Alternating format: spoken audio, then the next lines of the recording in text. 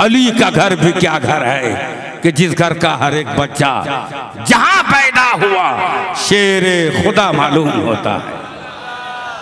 इस शेर को सामने रख करके मैंने इसकी तशरी तजमीन में एक शेर नज़र करने की कोशिश की।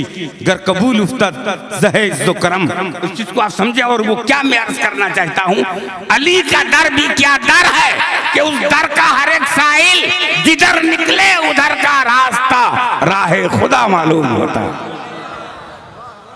अली का दर भी क्या दर है कि उस दर का हर एक साहिल जिधर निकले, उधर का रास्ता, राह खुदा मालूम होता है। तो ये वो बाकमाल बुज़ुर्ग हैं, जिनका ज़िक्र इबादत है, जिनका तस्करा इबादत है, जिनका नाम लेना इबादत है। और हर हर हर सहाबी के पीछे रदी अल्लाह हो लगाया जाता है। लेकिन एक अली है, जिसे करम अल्लाह ताला वजहुल करीम कहा जाता है। रदी अल्लाह अलैहिस्सलाम भी कहा जा सकता है, इसलिए कि ये अशरा मुबशरा के साथ साथ पंचतन पाक में अहम रोल अदा करने वाली जात का नाम अली है। पंजतन पाक, जहाँ मुस्तफ़ा जाने रहमत हैं, जहाँ अली मुर्तज़ा हैं, जहाँ सैदा ताहिरा हैं, जहाँ हसन मुजतबा हैं, और जहाँ हुसैन मुस्तफ़ा है। सिद्दीक अकबर से लेकर बिलाल हबशी तक। रदी अल्लाह रदी अल्लाह रदी अल्लाह रदी अल्लाह और जैसे ही अली का नाम आया करम अल्लाह यहाँ रदी अल्लाह नहीं है। करम अल्लाह ये करम अल्लाह हज़रत अली को इसलिए कहा गया कि अली पैदा हुए काबे में और ताहिरा पैदा हुई मुस्तफ़ा के घर।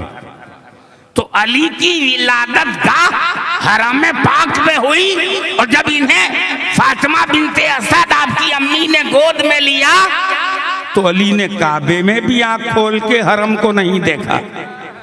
हरम को नहीं देखा, काबे को नहीं देखा, काबे की चार दीवारी को नहीं देखा, बीच के अंदर तबरुकात रखे हुए थे, उन्हें नहीं देखा।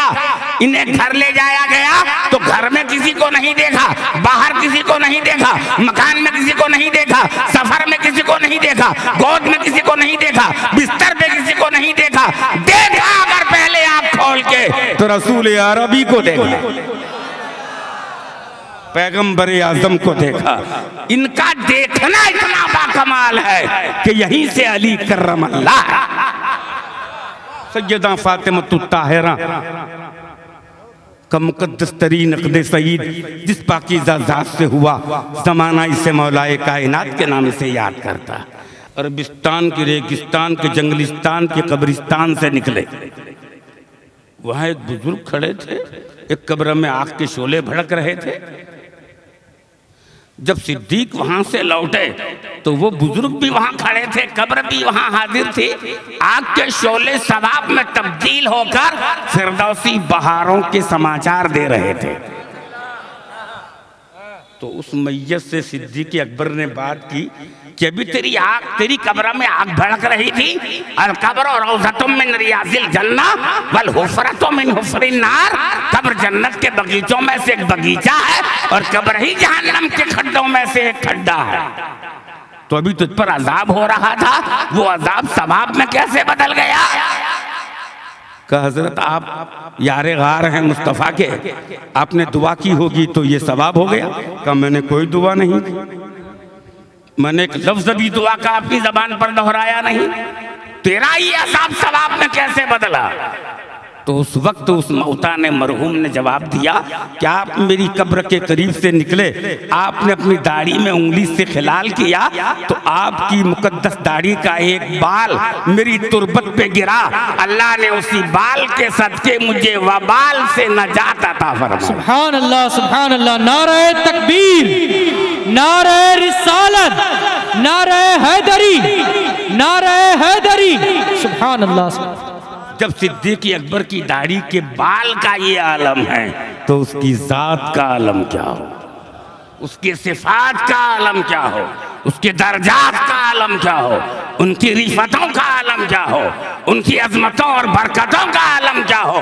फर्जंद दस्तगीर, मुहद्दिस आज़म हिंद, रकम तराज नज़र आए। और क्या प्यारा अंदाज, एक ही शेर में सारे दर्जात की बुलंदियाँ शीशी में समंदर भर दिया, इरशाद फरमाया, और मर्तबा हज़रत सिद्दीक का सैयद। हर फजीलत के वो जामे हैं नबूवत के सिवा।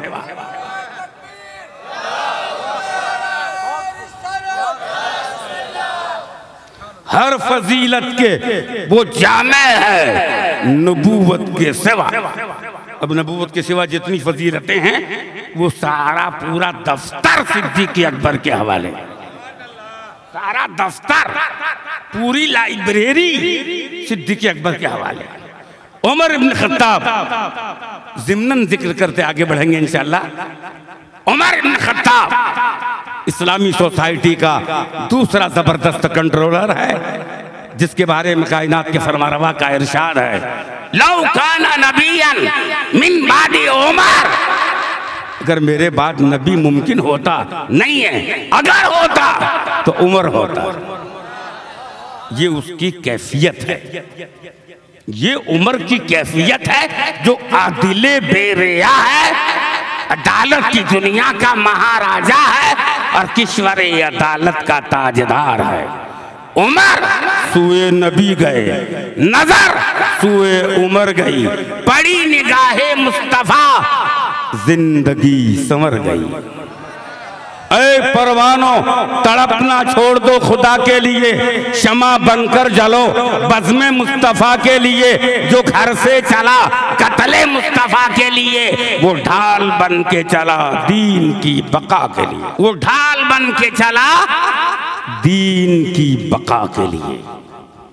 इसे फारूक का खिताब पैगंबर ने दिया। उमर इनका नाम था। मुस्तफ़ा की निस्बत के जलवे ने क्या कमाल दिखाया? सरकार अबद करार की बारगाह में सहाबा मोहब्बतों के साथ हाजिर आ गए और पैगंबर को देखकर इन्होंने कलमा पढ़ लिया।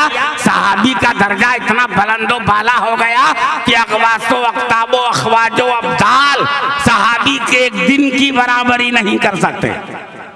इतने बड़े दर्जे पर ये पहुँच गए।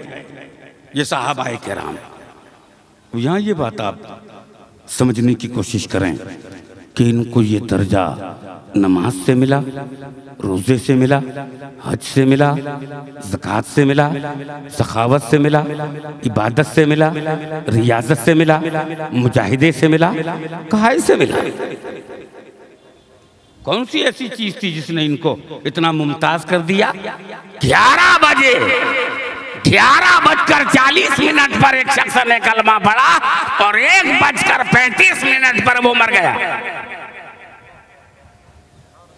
वो साहबी है। दस बजे कलमा पड़ा और बारह बजे मर गया। वो साहबी है। नौ बजे कलमा पड़ा और दस बजे मर गया। वो साहबी है। जिसने मुस्तफ़ा के सामने रूबरू कलमा पढ़ लिया। और उसका विशाल हो गया। वो सहाबी तो नमाज़ का वक्त नहीं रमज़ान का महीना नहीं हज की सीज़न नहीं कुर्बानी का कोई मौका नहीं इबादत का कोई मौसम नहीं ज़िक्र करने का कोई चांस नहीं। इधर पड़ा इधर कलमा पड़ा और उधर नीचे पड़ा निकल गया। इधर कलमा पढ़ा और उधर नीचे पड़ा घोड़े से। निकल गया। इतना बड़ा दर्जा कि उसकी मुकद्दस तरीन जियारत के लिए मलक फलक से उतरते हैं। फरिश्ते रहमतों का पैगाम लेकर के आते हैं कि फर्श ज़मीन पर कोई दीवाना कायनात को खैरबाद कह करके निकल गया। यह है मुस्तफ़ा के दीवानों की शान। तो सहाबी सोहबत से बनता है, इबादत से नहीं। सहाबा के अमल या इबादत पर तुम्हें हिसाब लगाने की ज़रूरत नहीं है। ये सहाबी है सहाबी। इनको वहाबी नहीं समझ सकते। वहाबियों से इनका पता पूछना, ये ट्रांसलेट की दुकान पर जन्नतुल फिरदौस का भाव पूछने के बराबर है। इन नापाकों से ना पूछा जाए कि सहाबी का मकाम क्या है। आशिकों से पूछा जाए, सहाबा का मकाम क्या है। ताबाइन से पूछा जाए, सहाबा का मकाम क्या है। तबे ताबाइन से पूछा जाए, सहाबा का मकाम क्या है। असलाफ से पूछा जाए कि सहाबा का दर्जा क्या है। इतने बड़े लोग हैं, जबल ओहद एक बहुत बड़ा पहाड़ है। बोले, इसके बराबर अगर दुनिया में कोई सखावत करने वाला हाथी में जमाना का बोर्ड लगाकर पूरा पहाड़ सोने का राहे लिल्ला में खर्च कर दे, तब भी सहाबी के एक दिन की बराबरी नहीं कर सकता। सोने का पहाड़ सखावत में दे दे। जबल अहद जितना पहाड़। ये देखिए आप, कितना बड़ा दर्जा है सहाबा का। जहाँ पहुँचे, ज़मीन को आसमां से कर दिया ऊँचा। जहाँ ठहरे, तरो दीवार का नक्शा बदल आए। समंदर में भी इनके दौड़ की राहें निकल आई। पहाड़ों पर भी इनके फैज के चश्मे उबल आए। अजी दश्त तो दश्त हैं। दरिया भी न छोड़े हमने, और बहरे जलमात में दौड़ा दिए घोड़े घोड़े नारे तकबीर नारे रिसालत ये वो साहबा किराम है कि जब बदर के मैदान में कायनात के फरमारवा पैगंबर आदम रसूल हाशमी वसल्लम ने बिन से, जो अंसार की जमात के सरपरस्त थे अंसार की जमात के सिपे सालार थे, इनसे पूछा, बताओ तुम्हारा हौसला क्या जवाब दे रहा है बदर में, तुम्हारा रिज़ल्ट क्या होगा? तुम किस तरह मैदान में कार्यक्रम अंजाम दोगे? मिकदाद ने अर्ज़ किया, या रसूल अल्लाह हम बनु इसराइल नहीं है, जो यूँ कह दें कि मूसा, तुम और तुम्हारा खुदा लड़ लो। आका, हमारी माओ ने वफादार अंदाज में हमें दूध पिलाया है। माजल्ला ये सेवा ही नहीं अम्बा वफाओं का। और पिया है दूध हमने अपनी गैरत वाली माओ का। नबी का हुक्म हो तो कूद जाए हम समंदर में और जहाँ को गरक कर दें। नारे अल्लाह अकबर में, सनाने नेजा बन के सीने दुश्मन में गड़ जाएँ और कुरैश मक्का है। क्या चीज़? हम देवों से लड़ जाएँ। हमारा मरना जीना आपके अहकाम पर होगा और किसी मैदान में हो खात्मा इस्लाम पर होगा ये इनका हौसला मन कारनामा रहा है और ये साहबा किराम की मुबारक तरीन जमात है। ये बड़े लोग हैं इसलिए कि इन्होंने आका के पीछे नमाजें पढ़ी हैं। आका के रूबरू कलमा पढ़ा है। कुरान को साहिब कुरान से समझा है। कुरान को साहिब कुरान से इन्होंने समझा है। आ गया ऐन लड़ाई में गर वक्त नमाज़ तिबला रूहों के जमी बहुत हुई कौम एजाज। अगर ये हालात और मामला के पेशे नज़र मुस्लिम जमात के सिपे सालार हैं मैदान कारदार में, मैमना और मैसरा के फ़ील्ड मार्शल है तो नमाज़ के वक्त आप देखोगे कि ये कौम के इमाम कौम के इमाम हैं और फर्श ज़मीन पर बैठकर आमिना के लाल ने इन्हें फैसला करने का सलीका सिखाया था। क्या प्यारा अंदाज था इनके फैसले का। हज़रत उमर की बारगाह में जब एक खातून आई और उसने एक बात कही, सूत कांत के तेल लेकर घर जा रही थी, ठोकर सी लगी। मेरा प्याला गिरा ज़मीन ने मेरा तेल चूस लिया। मुझे वो तेल वापस दिलवा दो। बुढ़ी को भी ये मालूम है कि उम्र का दबदबा कुछ कम नहीं है। उमर फारूक ने फरमाया, अब्दुल्ला, इसे दुकान पे जाके तेल का एक टीन दिलवा दो। कि मुझे टीन नहीं चाहिए। का दो तीन, चार तीन, पाँच तीन, दस बारह डिब्बे तेल के। अच्छे वाले तेल रोगने जैतून के बोले, नहीं चाहिए। बोले, खाता बनवा दें। जब तक ज़िंदा रहे, वहाँ तक तेल वहाँ से लिया करे। उसने कहा, नहीं। तुम उमर हो और मुस्तफ़ा के सच्चे वफादार हो। ज़मीन ने मेरे तेल को चूसा क्यों? उसी ज़मीन से मेरा तेल वापस दिलवा दो। उसी ज़मीन से मेरा तेल दिलवाओ। फारूक आज़म ने चिट्ठी लिखी। अब्दुल्ला को बोला, मोहर लगा दो, दस्तखत किए। का बड़ी भी प्याला जहाँ तेल गिरा है, उसकी बगल में रखो और उसके करीब चिट्ठी भी एक कंकरी के नीचे रख दो। चिट्ठी रख दी। ज़मीन का वो हिस्सा जिसमें प्याले का तेल गिरा था, चिट्ठी देख करके वहाँ से उठा, ज़मीन से हाईजैक हुआ पॉइंट बनकर सारी शक्ति को इकट्ठा करके उसके प्याले के पॉइंट पर आकर के मट्टी जमा हुई और सुकड़ करके निचोड़ कर सारा तेल वापस कर दिया और मिट्टी फिजा में बारूद बनकर मुंतशिर हो गई।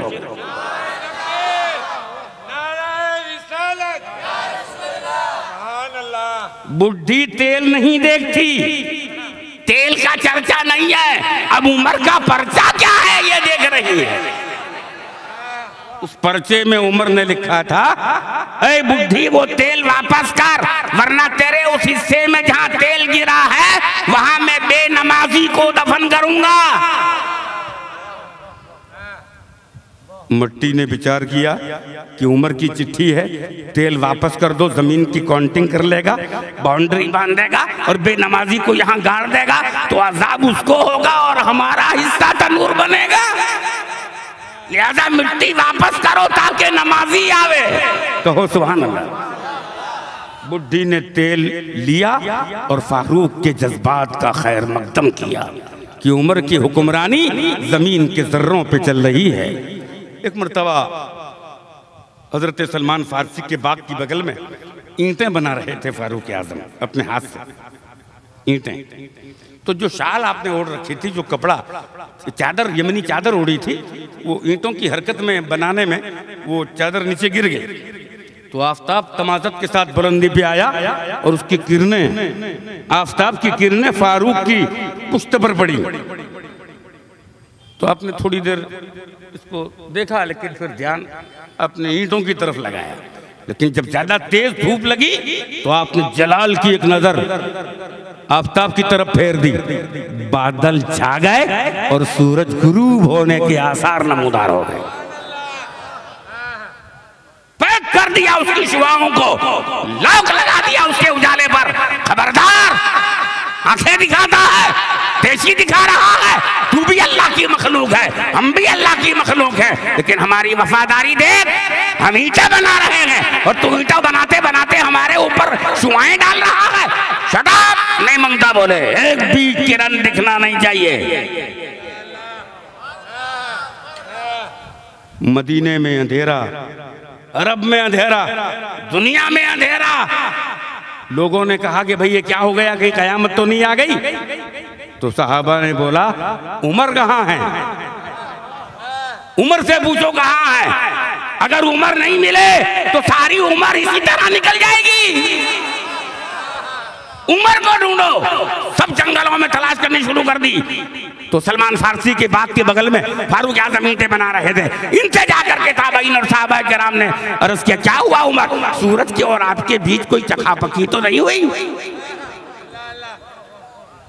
बोले, तुमको कैसे पता चला? बोले, अंधेरे ने हमें बताया कि मामला कुछ आपके साथ ही हुआ हो, ऐसा दिखता है।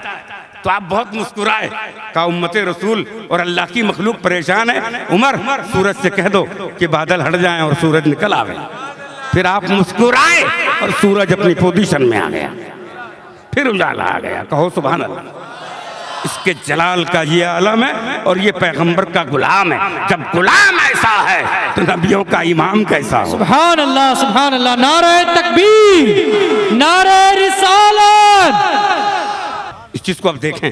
सैदना उस्मान गनी रदी अल्लाह जो तीसरे खलीफा हैं, उमर के बाद। बड़ी कामिल तरीन ज़िंदगी कामिल हया का दर्जा पैगंबर की बारगाह से पाया। और कुरान को जमाने का एक मुकद्दस तरीन मौका भी उस्मान गनी के हाथ में आया जामिल कुरान आपका लकब है और कामिल हया वली खान आपका दर्जा है। मुकम्मल शर्म व हया वाले उस्मान, जिनके साथ पैगंबर की दो बेटियों का अकद सईद अमल में आया और जब दूसरी बेटी भी विशाल कर गई, तब आका ने फरमाया कि अगर सौ बच्चियाँ होती तो यके बाद दीगरे में उस्मान को देता चला जाता। ये उसकी वफादारी है। उस्मान गनी की। उस्मान गनी रज़ी अल्लाह अपने घर थे। रात का माहौल था। एक साहिल आया मुस्तफ़ा के दरबार में और किया, हुजूर, मैं बच्ची को शादी करना चाहता हूँ। कुछ रकम दरकार है। अका ने फरमाया, उस्मान के घर जाओ और कह देना मुस्तफ़ा ने भेजा है। तो ये जब घर गया तो हज़रत उस्मान गनी रदी अल्लाह दस्तरखान पे खाना तनाउल फरमा रहे थे। तो आपने सब्ज़ी में नमक ज़्यादा देखा तो आपने फरमाया, ये नमक किस बावर्ची ने ज़्यादा डाल दिया? नमक ज़्यादा डालने से खाना बदमज़ा हो गया और ये नमक ज़्यादा खर्च हो गया। अगर ये बच्चा तो कल की सब्ज़ी में काम आता। साहिल वापस रहा सरकार ने पूछा, गया नहीं? बोले, वो नमक का हिसाब चल रहा था, इसलिए मैंने मुनासिब नहीं समझा। बोले, फिर से जाओ। फिर से जाओ, पैगंबर ने भेजा ऐसा कहना। फिर गए। फिर गया तो उजाला जरा ज़्यादा था लालटेन का। तो हज़रत उस्मान गनी ने पूछा आज उजाला इतना ज़्यादा क्यों है लालटेन में? फानूस में। ये बत्ती किसने जला दी है? बोले बत्ती थोड़ी कम करो ताकि घासलेट कम जले। बचे तो कल काम आवे।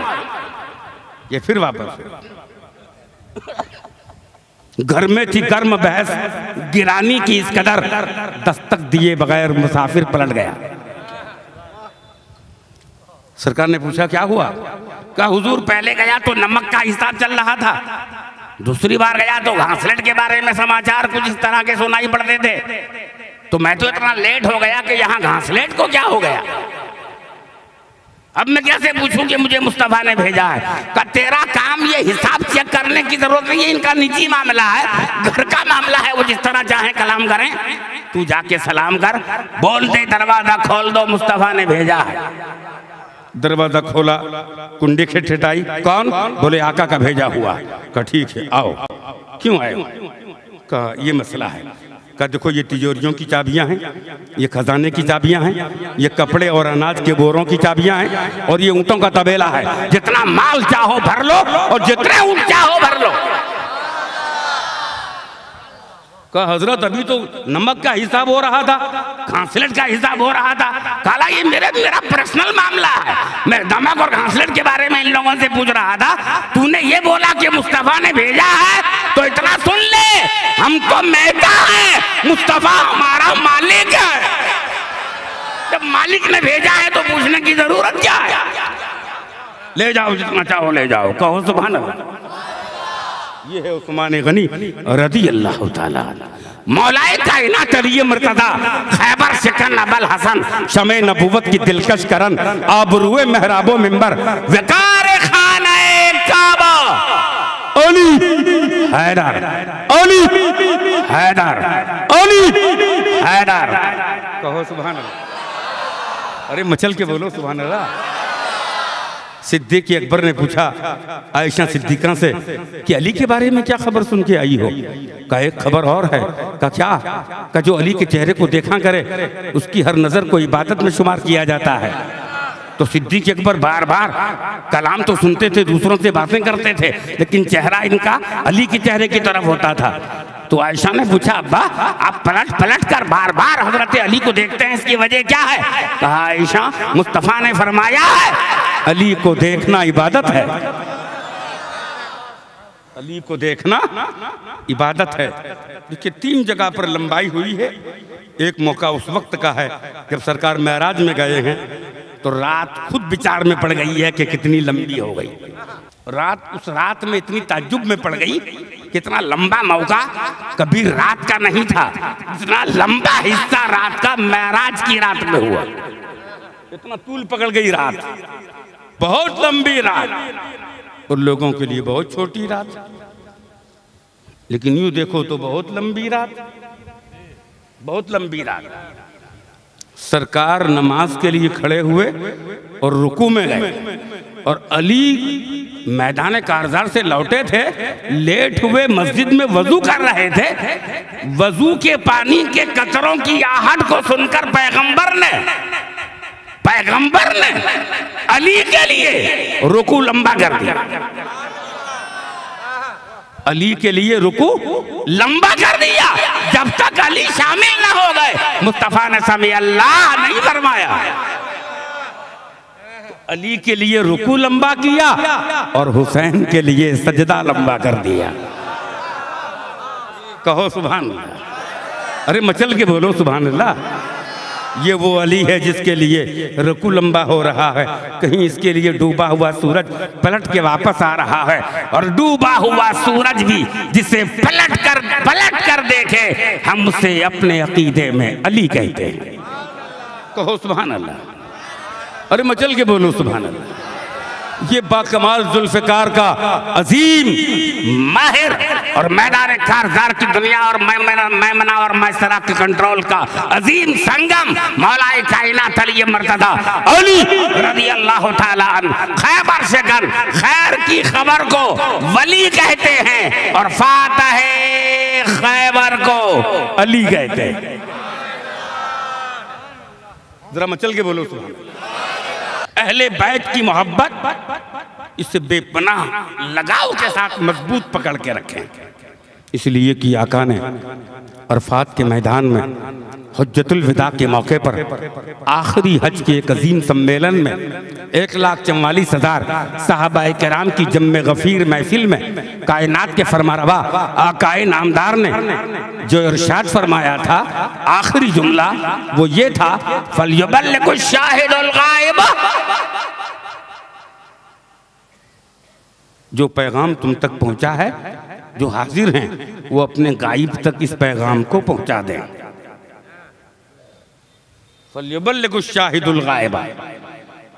और मैं तुम्हारे बीच दो वजनदार चीज़ें छोड़ के जा रहा हूँ। एक है किताबुल्लाह और दूसरे मेरे अहले बैत।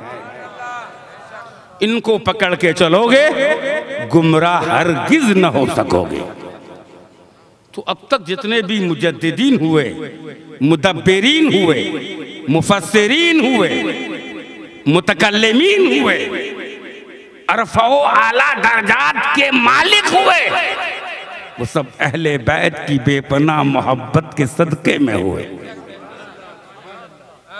आले रसूल ही की मोहब्बत ने इतना साकार दिया कि वो बंदा कलमकार होकर मुजद्दिद आज़म बनकर मैदान में आया। और ये आले रसूल ही की मुकद्दस अता का जलवा है। आले रसूल, इनका नाम भी आले रसूल है। महारारा शरीफ के से सज्जादा बरकातिया सिलसिले के ताजदार हज़रत सैयद आले रसूल नूरी मियाँ, जो इमाम अहमद रजा के पीरो मुर्शिद हैं। आले रसूल आले रसूल पाक, जो मुस्तफ़ा का ख़ानदान है, मुजद्दिद ने भी उनकी ताजीम का दुनिया को लेसन दिया। है बोलो, दिया है? इससे पहले बगदाद के जुनेद ने भी पैगंबर के खानदान की अहमियत पर अपनी मोहर सब्त की है। बगदाद के जुनेद ने जो विलायत की दुनिया का महाराजा माना जा रहा है, कलंदरों की सिफतों में मौसूफ नज़र आ रहा है और वराउल वरा के दर्जे की कुर्बत रखता है, जो सैयद अबरार, रसूल हाशमी अलैहि सैदी के खानदान के शहजादे के चरणों में अपना सीना टेक कर आखिरत की खैरियत की दुआ मांग रहा है। अपनी कुव्वत अपनी ताकत, अपनी सलाहियत, अपनी इज़्ज़त पैगंबर के शहजादे के चरणों में डाल देता है कि ये आखिरी मेरी चरण सीमा है।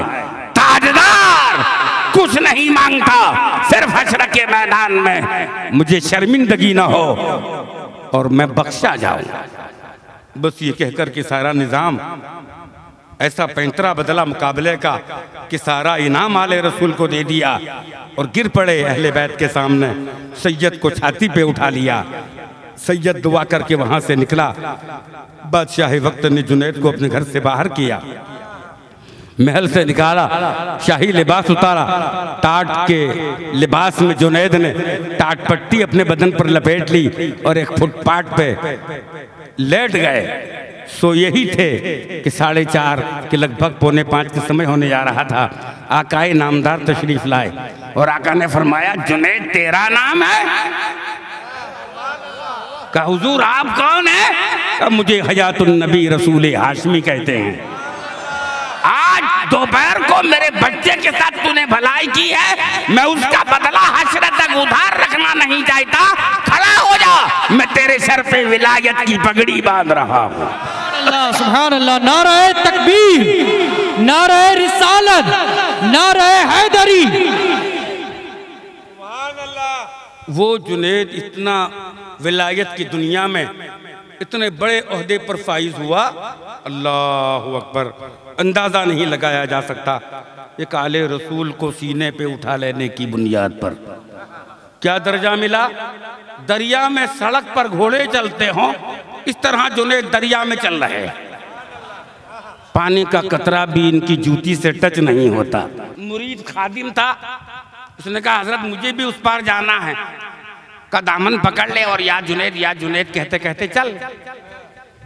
बोले, आप क्या कहते हो? बोले, मैं या अल्लाह या अल्लाह कहता हूँ। तो कहा अच्छा बोले, मैं या जुनेद कहूँगा। थोड़ी दूर तक तो दो चार मील तक तो चला दरिया में। फिर शैतान ने आके कान में कहा कि जब जुनेद या अल्लाह कहता तो तू भी या अल्लाह कह। तू या जुनेद क्या करने कहता? है क्यों तू या जुनेद कह रहा है? बंदे का नाम क्यों लेता? है जब वो अल्लाह का नाम लेता है, तू भी अल्लाह का नाम ले। इसने लिया तो ये पानी में डूबने लगा। जब डूबने लगा और दामन पीछे से खींचा पूछा क्या करता? है बोला, हज़रत, आपकी तरफ़ मैं या अल्लाह कहने लग गया हूँ। का बाहर निकाल। अभी जुनेद तक नहीं पहुँचा और अल्लाह तक पहुँचने की बात करता? बोले, अभी तुझे जुनेद कहना पड़ेगा, समय लगेगा। या अल्लाह कहने का वक्त अभी नहीं आया तेरा? अभी या जुनेद कहने का समय है। कहो सुबहान अल्लाह आपकी आँखों में थोड़ा सा दर्द हुआ तो आपने हकीम को बुलवाया, कहा, इसमें कोई दवा डाल दे। उसने बोला कि, दवा डालेंगे, लेकिन आप तो माशाअल्लाह मुसलमान हैं। आप जब वज़ू करोगे तो वो पानी अगर आँख में लग गया तो आँख फैल हो जाएगी। का वज़ू तो हमको करना ही पड़ेगा नमाज़ के लिए। का फिर दवा, जब लंबा समय रह जाए तब दवा डालिए। खनी दवा अभी डाल। बोले, आँख खराब हो जाएगी। बोले, तेरा काम सिर्फ़ दवा डालना है। आँख को अच्छा करना, खराब करना, ये कुदरत की बात है। तुझे इसमें बहस में पड़ने की ज़रूरत नहीं है। तू दवा डाल दे, दवा एक दिलासा है और आँख का दिख जाना एक खुलासा है। उसने दवा डाल दी। आपने तुरंत उसी जगह पर वज़ू किया। वज़ू करके उसने जब आँख देखी तो आपके सामने अर्ज़ किया आका मरीज़ मैं हूँ हकीम आप हैं। जब दूसरा शख्स आपके पास आया और कहा मेरे पेट में दर्द होता है तो आपने फरमाया क्या खाया था? बोले जली हुई रोटी खा गया था। बोले अच्छा आँख खोल तेरी आँख में दवा डालना पड़ेगी। बोले हुजूर पेट में दर्द होता है और आँख में दवा डालने से क्या होगा? कहा अंधा है जली हुई रोटी नहीं खा सकते मालूम नहीं। आँख का इलाज करना पड़ेगा। जब इसका विशाल होता तुरबत में उतारा जाता। फरिश्ते आते हैं। मन रब्बों का। फरिश्तों के सामने जुनेद ने पूछा, किस बात का कैसा रब्बों का? क्या रब्बों का? बोले, माँ दीनों का। बोले, क्या, किस बात का दीनों का? बोले, वो सवाल जो सबसे करते हैं, वो आपसे करते हैं। बोले, कहाँ से आए हो? बोले, अल्लाह ने भेजा है, आसमान से आए अच्छा। खुदा से यूँ पूछो कि जब सारी रूहों को जमा करके पूछा था, अलस तो बेरबेकुम क्या मैं तुम्हारा रब नहीं हूँ? सबने कहा था आका के सदके में, कालू बला। तो मैं कालू बला में था, फिर तुमको क्यों भेजा? वो कालू बला की जो महफिल थी, पहली कॉन्फ्रेंस दूसरी कॉन्फ्रेंस जो हुई, उसमें मैं था। जहाँ हेडो पैमान लिया गया मुस्तफ़ा की रिसालत के हवाले से और खुदा की रबोबियत के बारे में सवाल हुआ, उस वक्त मैंने खुदा के सामने कहा है कि तू मेरा खुदा है। फिर तुम क्यों पूछने आए हो तेरा रब कौन है? कहो सुबह अल्लाह फरिश्तों ने अर्ज़ किया, मौला जुनेद तो ऐसी बातें करता है का इसको सोने दो, रोजी अफजल का खुमार, इसके दिमाग पर आज भी मामूर है। कहो सुबह अल्लाह एक आले रसूल की मोहब्बत ने जुनेद को कहाँ से, कहाँ तक पहुँचा दिया? एक अहले बैत के इश्क में एक आले रसूल को छाती पे उठा लेने की बुनियाद पर जुनेद कलंदरों की दुनिया का महाराजा हो गया। कहो सुबह अल्लाह जब इश्क सिखाता है आता बे खुदा गाही खुलते हैं गुलामों पर, असरार शहनशाही। अतार हो, राज़ी हो, रूमी हो, गजाली हो, कुछ हाथ नहीं आता, बे आहे सहर गाही जब इश्क सिखाता है आता बे खुदा गाही चप्पे चप्पे का निशान गोशा नशीनों से मिला, ताज शाही भी बादशाहों को फकीरों से मिला और मौत से टकराने का फन गाजियों से लिया और ज़िंदा रहने का सबक हमें शहीदों से मिला। बुलंद आवाज़ से कहो सुबहान अल्लाह मचल के कहो सुबहान अल्लाह अंतर आत्मा से बोलो सुबहान अल्लाह मोहब्बत आले फातिमा से कहो सुबहान अल्लाह ये जो बज्म इस वक्त है, मलक फलक से झाँक रहे हैं और फरिश्ते आसमानों में इसका चर्चा कर रहे हैं कि दुनिया पर फर्श ज़मीन पर मौला तेरे बंदे, तेरे महबूब के महबूब का गुन गा रहे हैं। तो हमारी महफिल माशाअल्लाह बहुत कामयाब तरीन महफिल है। बहुत बड़े अमीर कबीर आदमी ने तबीयत के खराब होने पर इमाम अबू यूसुफ को ख्याल आया कि बड़ा अमीर आदमी है। अगर ये कलमा पढ़ लेगा तो हाई इंप्रेशन मुस्तबिल में जम सकती है। तो अब उसके घर गए और कहा कि हम इस्लाम की सिफतों से आपको बाखबर करना चाहते हैं और आखिरी टाइम आपका है। अब आप तोबा कर लें, कुफरत से और कलमा पढ़ लें। नेकियाँ तेरी तराजू में तुले न तुले दामन सिया तेरा धुले न धुले। आज ही कर ले गुनाहों से तौबा। कल तेरी आँख खुले न खुले? कल तेरी आँख खुले न खुले? तो कहा इस्लाम की सिफतों से हम आपको बाखबर करते हैं, आप कलमा पढ़ लीजिए, ताकि आपको आखिरत में खैरियत के साथ राहत नसीब हो। उसने कहा, भैया, अबू यूसुफ तुम्हारा नाम है? कहा हाँ। कहा बड़े मौलाना इमाम आज़म के यहाँ तुम पढ़ाई करते हो? कहा हाँ। बोले, भैया, ऐसा है कि ये जो तुम कहना चाहते हो, ये मेरी समझ में नहीं आ रहा ठीक है। आप वहाँ से चल दिए, इमाम आज़म को खबर दी कि वो तो मना करता है। बोले, तुम क्या चाहते हो? कहा, हुजूर, इसने कलमा पढ़ लिया होता तो हमको बड़ा सुकून मिलता। कहा अच्छा वज़ू का पानी लाओ। आपने वज़ू फरमाया, अमामा लाओ, अमामा सर पे रखा असा लिया हाथ में, शाल कांधे पे डाली, कहा, मेरे साथ चलो। गए। तो वहाँ वॉचमैन ने उस अमीर को खबर दी कि बड़े मौलाना नौमान बिन साबित आ रहे हैं। तो उसने कहा कि मुझे गेट पे ले लो। दो आदमी इसको पकड़ के गेट पे लाए। इमाम आज़म का चेहरा देखा और उसने कलमा पढ़ लिया, ला इलाहा इल्लल्लाह, मोहम्मदुर रसूलुल्लाह। इमाम अबू यूसुफ ने पूछा, हज़रत, आपने तो कुछ नहीं कहा और उसने कलमा पढ़ लिया? तो फ़र्क क्या? हम तो बहुत देर तक इस्लाम के बारे में इसको खबर देते रहे।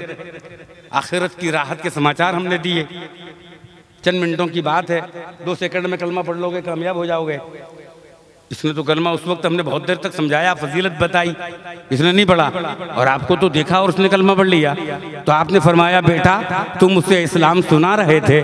मैं उससे इस्लाम दिखा रहा था। इस्लाम सुनाना अलग है, इस्लाम दिखाना अलग है। को हज़रत, ये समझ में नहीं आ रहा है कि क्या हम इसको पूछ लें कि पहले क्यों नहीं बढ़ा और अब क्यों बढ़ा? हम आए जब नहीं बढ़ा और हम जब इमाम साहब आए तो तूने पढ़ लिया, हम पूछ लें? बोले, अब तो पूछ सकते हो, तुम्हारा भाई है।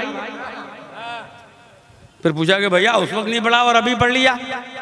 कहा, उस वक्त अगर पढ़ा होता तो तुम जैसे मौलवी जो हैं इमाम आज़म अबू हनीफा के शागिर्द, वो मेरे ईमान के गवाह बनते।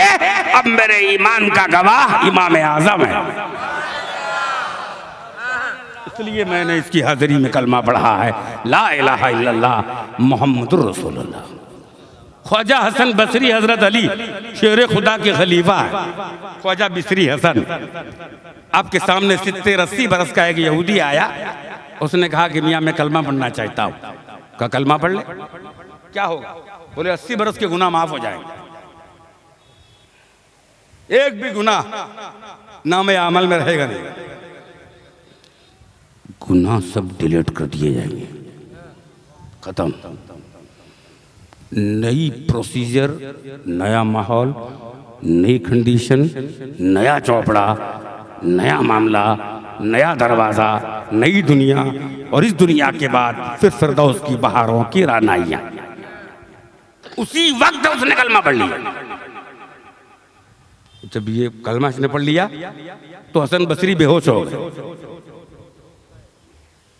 बेहोश हो इन पर पानी डाला, थोड़ा होश में आए। बहुत बड़ी बुज़ुर्ग अमानत है हसन बसरी। होश में आने के बाद बोला, हज़रत सितर ऐसी बरस का बेहोश होश में आ गया और आप बेहोश हो गए। आप काय को बेहोश हो गए?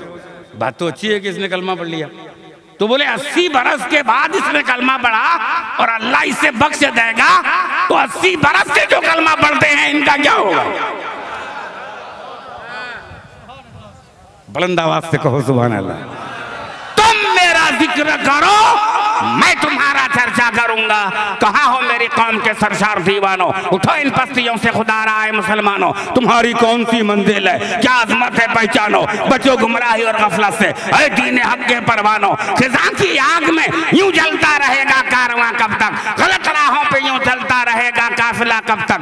गलत रवि से मनाजिल का बहुत बढ़ता है। मुसाफिरो, रवि से कारवां बदल डालो, हवा के रुख पे चलो, बादबा बदल डालो। ज़िंदा रहना है तो मेरे कारवा बनकर रहो और इस जमी की पस्तियों पर आसमा बनकर रहो। तू वो इमाम के इमामत की आबरू तुझसे। हुसैन तुझको इमामत सलाम करती है।